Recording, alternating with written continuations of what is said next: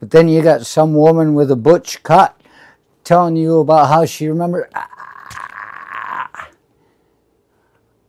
All I remember about reading the Pledge of Allegiance when I was in elementary school was that I just couldn't wait for it to be over. I got back as a war vet and watched a bunch of children having to read the Pledge of Allegiance in front of me. And I said, You poor bastards.